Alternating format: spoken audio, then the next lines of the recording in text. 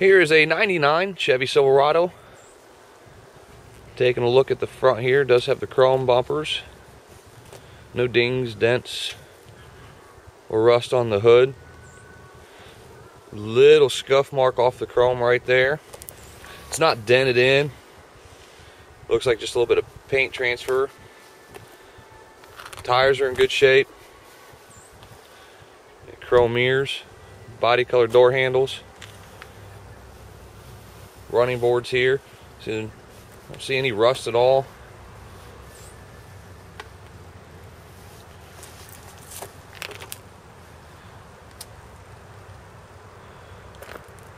A little more paint transfer back here on the on the back. Again, I mean, it's not dented whatsoever. I mean, it's just it's just paint up there. You got the Extang cover on it. Towing package is on here if you need it dings, dents, rust anywhere on the tailgate. Driver side tires and everything clean. Running boards there. And there's no rust over here on this side either.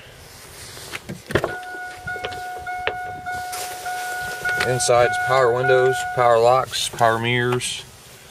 That's a cloth interior. The seats aren't ripped up or stained. This looks like the everyday normal wear and tear. I mean, it, it is dirty. We just got it in on trade. We'll get it all cleaned up for you. The push button four wheel drives here. And you see miles wise 110, 952. It's got the CD player.